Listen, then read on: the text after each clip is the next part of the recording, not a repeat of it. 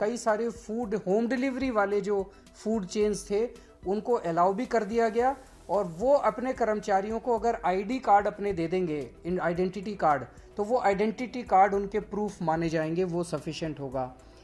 Delhi police को हमने अपने पूरे विचार दिए कि अभी क्या क्या प्रॉब्लम्स आ रही हैं।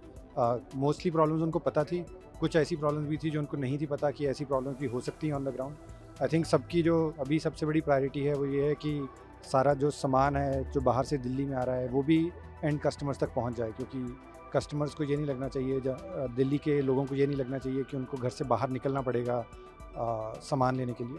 तो ये सामान पहुँचाने के लिए जो भी हम प्रॉब्लम सॉल्व कर सकते हैं दिल्ली पुलिस हमारे साथ है आ, तो अभी वो पासेस इशू करेंगे हमारे लिए ताकि गुड्स मूवमेंट दिल्ली के अंदर खुल सके और उसके बाद वो हमें हेल्प भी करेंगे कि जो सामान कस्टमर्स तक पहुँचना है उसको पहुँचाने के लिए भी कोई इंटरप्शन ना हो आ, वो भी वो इंश्योर करेंगे। कस्टमर्स को बहुत सारी दिक्कत आ रही है जैसे जो कुछ शॉप की अपना माल अपने पास रख लिया और उसके बाद फिर प्राइस जो है वो हाई रखा तो ऑनलाइन में किस तरह से रहेगा? क्या वही प्राइस रहेगा? किस तरह से चीज़ें रहेंगी थोड़े से आने वाले हाँ जी देखिए मतलब आई थिंक प्राइस नहीं चेंज होगा कुछ भी बिकॉज़ सप्लाईज में कोई भी प्रॉब्लम नहीं है। सप्लाई नॉर्मल चल रही है सिर्फ़ गुड्स मूवमेंट में प्रॉब्लम है। कि सप्लाई अगर दिल्ली के बाहर तक पहुँच रही है या किसी एरिया के बाहर तक पहुँच रही है, उसको कस्टमर तक पहुँचाने में प्रॉब्लम आ रही है, पर ऐसी कोई प्रॉब्लम नहीं है कि सप्लाईज नहीं है। तो प्राइस पे कोई फ़र्क नहीं पड़ने वाला। दिल्ली में 144 सीआरपीसी की धारा लगी हुई है और दिल्ली पुलिस की हमेशा से ये प्रायोरिटी रही है कि जितनी भी असेंशियल सर्विसेज़ है गुड्स हैं, उनकी मूवमेंट आराम से हो सके। लोगों तक जितनी भी असेंशियल सर्विसेज़ हैं या कमोडिटीज़ हैं, वो पहुँच पाएँ। उसको और सरल करने में, आप जैसे जानते हैं कि जो हमारी ई कॉमर्स साइट्स हैं, उनका काफ़ी बड़ा योगदान रहता है।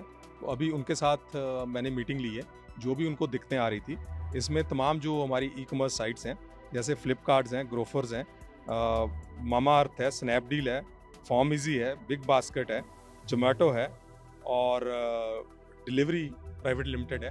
इनके रिप्रेजेंटेटिव ने पार्टिसिपेट्स किया है। इन्होंने हमारे से दिक्कतें शेयर की हैं, जो इनको प्रॉब्लम्स आ रही हैं।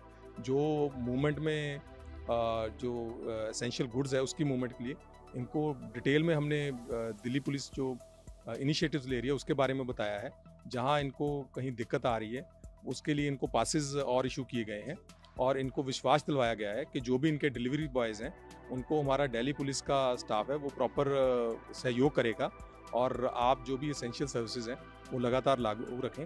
इसके साथ साथ एक प्लेटफॉर्म भी इनके साथ बनाया गया है जिसमें जो भी इनकी दिक्कत होगी, ये डेली पुलिस के साथ शेयर करेंगे और हम इनकी पूरी सपोर्ट करेंगे।